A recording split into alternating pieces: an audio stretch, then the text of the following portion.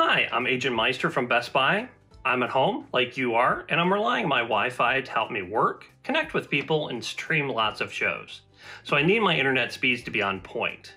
Here are a few tips to help you optimize your Wi Fi. The first thing you're going to want to do is make sure that you have the latest firmware updates for your wireless router. How you do that will vary by individual device. In some cases, you may have a website that you'll access, and others you'll have an app that you'll download from, for your smartphone to access the settings on, on your device. Check your manual for details. What this will do for you is download any uh, security updates, uh, any uh, bug fixes, or even network performance enhancements that the manufacturer has fixed after you've purchased the device. The next thing you want to do is make sure your wireless router is in the centralmost location of your home.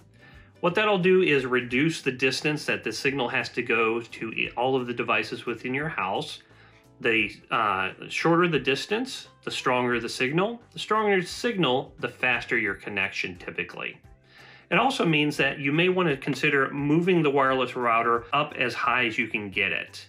If your wireless router does have any antennas, you do want to make sure that they're up, as well as the fact that the antenna is not loose, again, to increase that signal strength.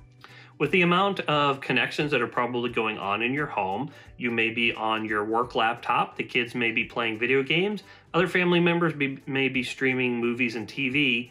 You do want to check for bottlenecks that may be outside of your house. You can do that by checking your internet broadband speed on the Geek Squad section of BestBuy.com. You'll want to go ahead, run that speed check, and make sure that your incoming data is roughly about the speeds that are in your advertised plan. If not, go ahead and contact your internet service provider. Finally, you do want to consider the age of your router. If the router is three, four, or older years, um, you may want to consider a newer device. These modern uh, routers uh, do tend to have better performance in terms of the hardware, stronger signals, and more features uh, that will help uh, with your connection.